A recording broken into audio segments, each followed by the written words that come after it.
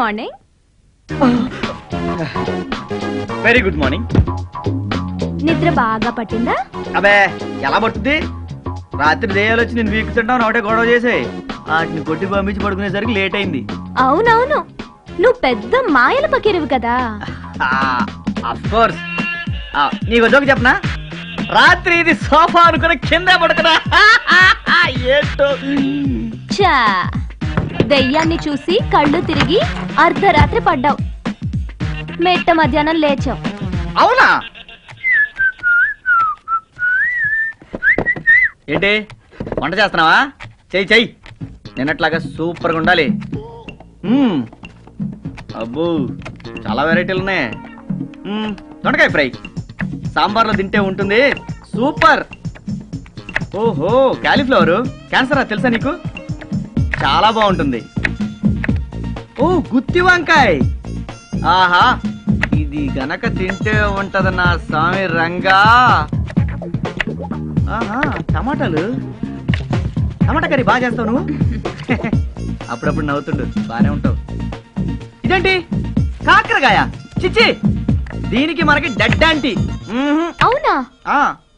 నేను కాకరకాయ తప్ప వేరే ఏది తినను. కాకరకాయ ఫ్రై కాకరకాయ పులుసు కాకరకాయ పచ్చడి అన్ని వీటితోనే చేస్తా. ఆహా ఏమి టేస్ట్ రా బాబు!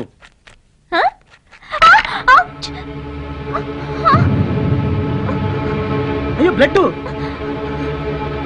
ఏంటి చేయి ఈ వంకతో టచ్ చేద్దామనా? ఏయ్ ఏం మాట్లాడుతున్నావు అర్థం అవుతుందా నీకు? చేయి దగ్గర రక్తం కారణం చేయి పట్టుకున్నా. వేరే ఆలోచన ఎందుకు వచ్చింది నీకు? ఇదే ఇంకో డాక్టర్ పట్టుకుంటే? ఇలాగే ఆలోచించదానివా? ఏయ్ చూడు నేను నీతో పోటీ పడ్డానికి గొడవ పడ్డానికి కారణం నువ్వే. మనం డిటిపి షాప్లో కలిసినప్పుడు నేను రెజ్యూమ్ ఇచ్చాను నువ్వు లవ్ లెటర్ అని తిట్టావు. నిన్న గులాబీ పువ్వు కోసిస్తే తప్పుగా అనుకున్నావు. ఇప్పుడు వేలు దగ్గర నేను హెల్ప్ చేయబోతే చాలా చీప్గా మాట్లాడావు. నేను నువ్వు అనుకున్నట్టు చెడ్డవాణ్ణి కాదు నిరుద్యోగిని. జస్ట్ నిరుద్యోగిని. చూడు లడ్డు ఎలా గారిపోతుందో.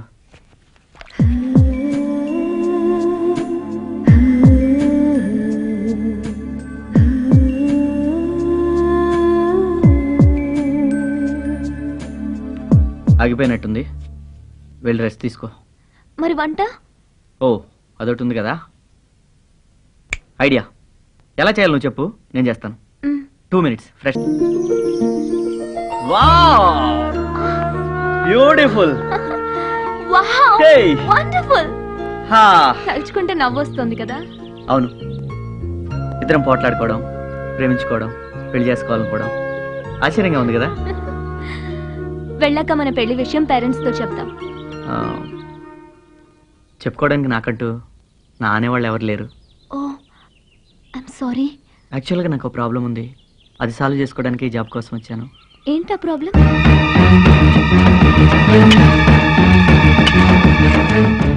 ఏంటండి ఇది నీకు తెలుసుగా మురళి ఈ పొలం అమ్మి నా బాకీ తీర్చుకోమని కోర్టు ఆర్డర్ వేసింది.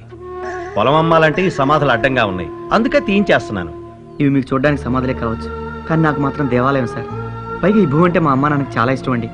అందుకే వీటిని ఇక్కడ కట్టించాను. దయచేసి వీటిని తీసేయకండి సార్. సరేనయ్యా మరి నా బాకీ ఎట్టా తీరుద్ది? ఒక్క సంవత్సరం గడివి ఇవ్వండి సార్. మీ అప్పు వడ్డీతో సహా తీర్చేస్తాను. కానీ నాకు ఇప్పుడు డబ్బు చాలా అవసరం మురళి.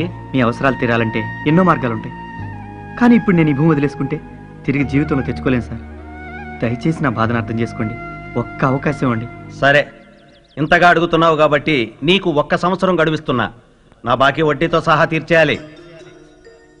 అమ్మ చనిపోవడం వెంటనే నాన్న చనిపోవడం ఆ బాధ తట్టుకోలేక నేను ఉన్న ఉద్యోగం కూడా వదిలేశాను. ఓకే. నాకు మా అమ్మ నాన్న లేకపోయినా మనకి మీ అమ్మ నాన్న ఉన్నారుగా వాళ్ళతో చెప్దాం. మీ అమ్మ నాన్న చనిపోయినా నీ మనసులో ఇంకా బతికే ఉన్నారు. నా తల్లికి భర్తగా నేను తండ్రి అని చెప్పుకోవడానికి ఒకడున్నాడు. అతను బతికున్నా నా మనసులో ఎప్పుడో చనిపోయాడు. అంటే? నాకు ఆరేళ్ళ వయసప్పుడే మా నాన్న చనిపోయాడు.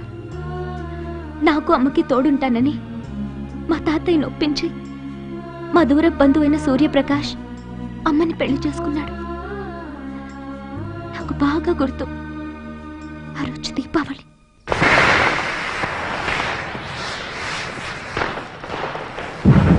పండగ నాడు మీ సంతోషం కోసం ఆస్తిని బాగానే తగలబెడుతున్నారు కానీ నా సంతోషం కోసం ఇక్కడ ఓ సంతకం తగలెట్టు. మొన్నే కదా పెట్టాను. మళ్ళీ ఎందుకు? పండగ మామూలు అనుకో పెట్టు. మీరు అడిగినప్పుడల్లా సంతకం పెడుతూ పోతే రేపు ఇది రోడ్న పడేడుస్తుంది. ఎప్పుడు అది ఏడుస్తుందని ఈ రోజు నీ మొగుడు నేర్పిస్తావా? పెట్టు. నేను పెట్టానండి. నీతో ఎలా పెట్టించాలో నాకు బాగా తెలుసు. పెట్టు. పెడతావా లేదా? అప్పటి నుంచి రోజు ఏదో ఒక వంకతో అమ్మని హింసిస్తూనే ఉంటాడు. నేనేదో ఒక జాబ్ చూసుకుని బయటికి వెళ్తే అమ్మైనా సంతోషంగా ఉంటుంది. కానీ బ్యాడ్ లక్. ఈ జాబ్ కూడా మిస్ అయింది. నో మిస్ అయిందని ఎందుకు అనుకుంటున్నావు? మనకి ఇంకా అవకాశం ఉంది. అంకుల్ వచ్చాక మాట్లాడి ఆ జాబ్లో నువ్వు జాయిన్ అవుతుంది లేదు మురళి. ఇప్పుడు జాబ్ నాకన్నా నీకే ఎక్కువ అవసరం. నో చనిపోయిన మా అమ్మా నాన్నల కోసం బతుకున్న మీ అమ్మా నాన్న కష్టపడ్డాం న్యాయం కాదు. ఈ జాబ్లో నువ్వే జాయిన్ అవుతున్నావు. ఓకే. నువ్వు చెప్పినట్టుగానే నేనే జాయిన్ అవుతాను. సరే. బట్ జాబ్ వచ్చిన వెంటనే మనం పెళ్ళి చేసుకుందాం? హ్మ్. తప్పకుండా. ఓ అంకుల్ వచ్చేసాడు. Let's go?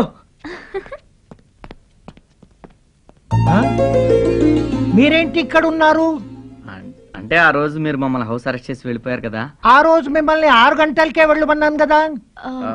వెళ్దాం అనుకున్నాం. కానీ ఆ రోజు ఏం జరిగిందంటే?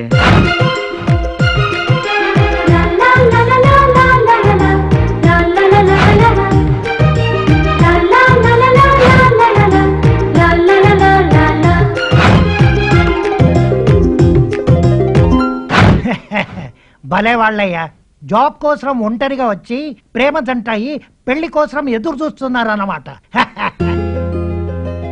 God bless you thank you uncle thank you uncle మీ పెళ్ళి ఇన్విటేషన్ నాకు తప్పకుండా పంపాలి.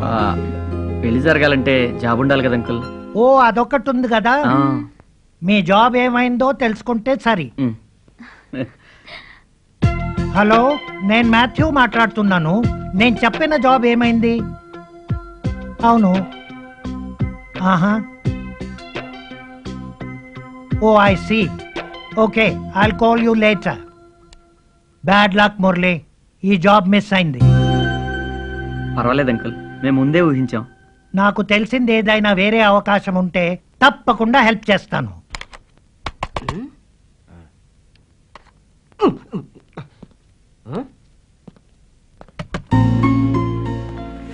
ఏంట్రా? వాకు వీక్గా ఉంది. ఇంటర్వ్యూ ఏమైందమ్మా? పీకింది తెలుసు. బాధపడకు. నేను ఉన్నాను కదా? ఏంటా లుక్ నీకోసం జాబ్ చూసి పెట్టానమ్మా. నువ్వు నా కోసం జాబ్ చూసావా? యా. అదేమన్నా టీవీ అనుకున్నావు ఎప్పుడు పడితే అప్పుడు ఆన్ చేయడానికి అంతేలేరా. చార్లే చెప్తే రికమెండేషన్ మేము చెప్తే ఇరిటేషన్. వెయిట్. ఏడుచు. ఏంటది? ఏ? కళ్ళు పోయాయా? చూసుకో. ఎటకారం ఎక్కువైంది రో. తీసి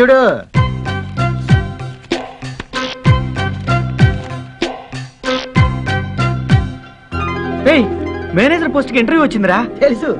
జాబ్ ఇప్పించింది నేనే కదా. ఆ? అదే లెటర్ ఇచ్చింది నేనే కదా అని. కానీ జీకేఎం గ్రూప్కి నేను అసలు అప్లై చేయలేదురా. అప్లై చేయలేదా? ఆ, సింధు మేడం అప్లై చేసి ఉంటుందిరా ఎవరు? సింధు అంటే నీకు మేజర్ జాబ్ ఇప్పిస్తా అని చెప్పేసి హ్యాండ్ ఇచ్చింది ఆమెయ ఆ అమ్మాయి. ఆహా చూడు ఇంటర్వ్యూ ఇప్పుడు. వచ్చే సోమవారమేరా? సోమవారమా? ఆ, మంగళ బుధ గురు శు- ఇంకా ఐదు రోజులే ఉంది. రేయ్ ఇంటర్వ్యూ ఎలా ఉండాలి తెలుసా? నేను టీవీ రిపేర్ చేసేటట్టు ఉండాలి. ఆ? ఆ. అయ్యో, ఆ, ఆ, అరే నువ్వు లోపలికి వెళ్ళి. ఆ, లోపలికి వెళ్ళి. ఆ, రండి రండి. ఆగు. ఈ ఇంట్లో అడుగు పెట్టే అర్హత నువ్వెప్పుడో కోల్పోయావు. బయటికి పో. ఏంటి మీరు మాట్లాడేది? తెలుగే. అర్థం కాలేదా? తెగ బలిసి తిరిగొచ్చావుగా. ఏమండి? మ్మ్. తెలియనట్టు నటిస్తూ నా దగ్గర నీ అతి తెలివితేటలు ప్రదర్శించుకో. ఏమండి అది? ఏంటే? నీ సపోర్టా? పెళ్ళి చూపులకు వచ్చిన వాళ్ళు నీ ముందే నన్ను చీకొట్టి చవటాన్ని బిర్ది చెల్లారుగా పది మందిని పిలిచి పప్పన్నం పెట్టి సంబరం చేసుకోమంటావా? ఛీ! కొవ్వు పట్టిన కూతుర్ని కని నా కొంపకి కొరివి పెట్టించావే. నువ్వేడుస్తున్నావని వెతికి వెతికి సంబంధం తెస్తే ఉద్యోగం వంకతో వైజాగ్ ఊపుకుంటూ వెళ్ళిందిగా? కావాలంటే అడుగు. అది అసలు ఇంటర్వ్యూకే వెళ్ళలేదు. నీ కూతురు బంగారం అని నువ్వనుకుంటున్నావు. కానీ అది ఎప్పుడో బరి తెగించింది మరీ అదుగా మాట్లాడండి. ఆడపిల్ల ఆడపిల్లలా ఉండాలి.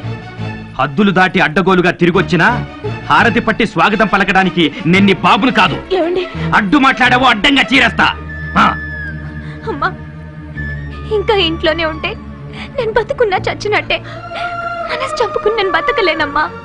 నేను వెళ్తున్నాను. ఎక్కడికి వెళ్తావే? ఇక నుండి నేను సంతోషంగా ఉండమ్మా. అది కదే నా మాట వినవే. ఎక్కడికే? లోపలికి వెళ్ళు అయ్యో దాని ఆపండి. ఏ? అది అది సడన్గా ఇంట్లోంచి వెళ్ళిపోమంటే ఎక్కడికి వెళ్తుంది శ్మశానానికి వెళ్తుంది నువ్వు లోపలికి పద ఏమండి వద్దండి పిలవండి ఏమండి దయచేసి నా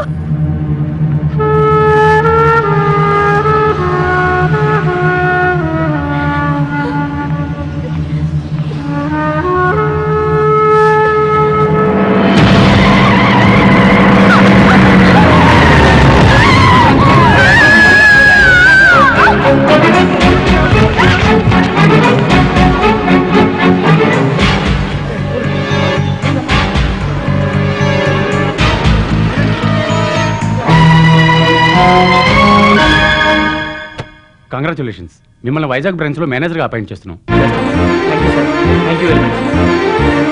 రఘు! రే రఘు! నాకు జాబ్ వచ్చిందిరా. నిజంగానా? ఆ, జీకే ఫార్మాస్లో మార్కెటింగ్ మేనేజర్ రా. అట్టగా. కంగ్రాట్స్ రా. థ్యాంక్ యూ రా. జీతం ఎంతరా? పదిహేను వేలు రా. ఎంతకాలానికి నీ కళ్ళలో ఆనందం చూశాను రా త్వరలో నీ ఆశయం నెరవేరబోతుంది. ఇప్పుడు జాయిన్ అవ్వాలి? నెక్స్ట్ వీకే రా. వైజాగ్లో. వైజాగ్ మరి నేను? అదేంటో రఘు అలా అంటావు?